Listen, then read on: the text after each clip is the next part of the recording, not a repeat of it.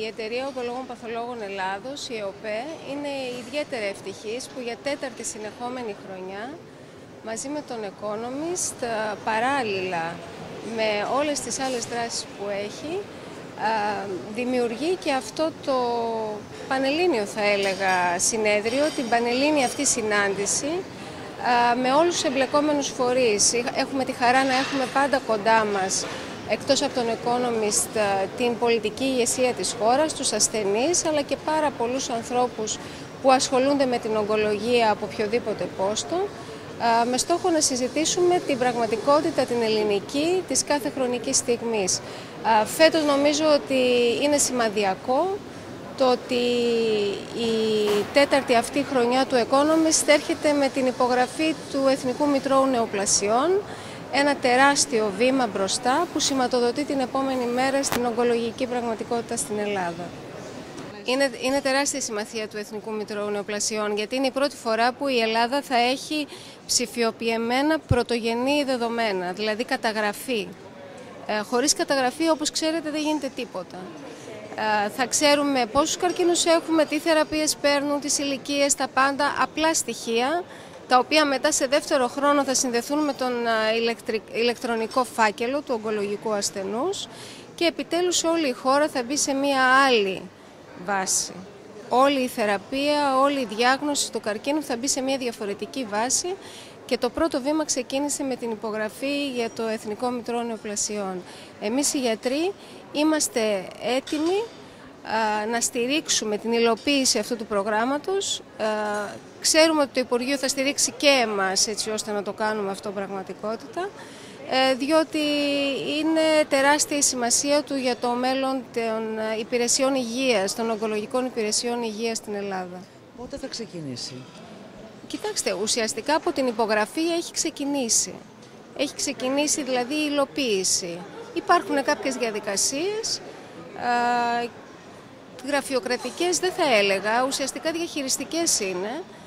Αυτό που έχουμε συζητήσει με τον Υπουργό και από ό,τι καταλαβαίνω είναι αρκετά πιθανό να γίνει, είναι ότι μόλις είναι έτοιμο, ζητήσαμε σε ορισμένα κέντρα, ογκολογικά κέντρα σε όλη τη χώρα, ίσως να ξεκινήσει πιλωτικά πολύ άμεσα, ε, στους 4-6 μήνες από τώρα, έτσι ώστε να το δούμε και στην πραγματικότητα πώς δουλεύει, πόσο χρόνο χρειάζεται ένας γιατρός για να βάλει τα στοιχεία μέσα, πόσο τα λάθη της αστοχής ενδεχομένως, μέχρι να γίνει μια καθολική πραγματικότητα. Θα είναι κάτι που προοπτικά θα είναι καθολικό. Δηλαδή όλοι οι ασθενείς με καρκίνο θα πρέπει να εγγραφούν στο Μητρό, θα συνδέεται με συνταγογράφηση και με συγκεκριμένες ιατρικές πράξεις και αυτός είναι και ο μόνος τρόπος για να δουλέψει ένα Μητρό.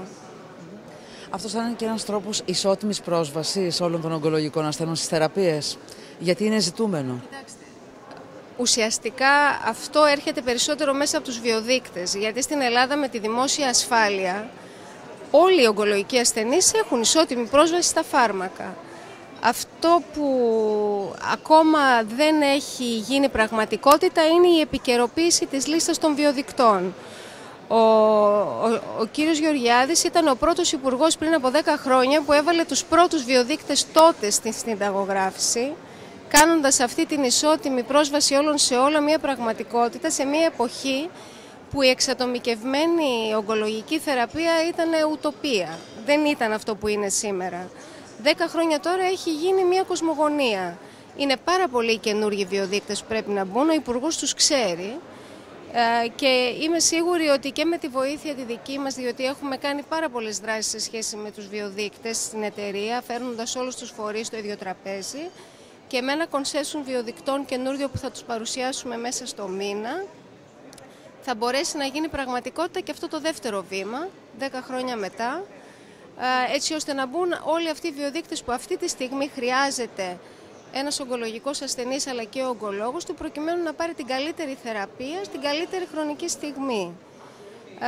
Αυτό είναι αυτό που θα κάνει πραγματικά την ισότιμη πρόσβαση όλων σε όλα θα την πάει σε ένα άλλο επίπεδο, διότι κατά τα άλλα η Ελλάδα είναι μια ευτυχής χώρα, στην οποία η δημόσια ασφάλεια καλύπτει όλους τους ασθενείς να έχουν τα πάντα, όσο και αν ακούγεται περίεργο αυτό, Και βέβαια είναι και μια ιδανική χώρα διότι μέσα περίπου σε ένα μήνα από κάθε νέα έγκριση στον αίμα, στον Ευρωπαϊκό Οργανισμό, έχει τη δυνατότητα να έχει τα φάρμακα που εγκρίνονται και στη χώρα, η μικρή φτωχή Ελλάδα.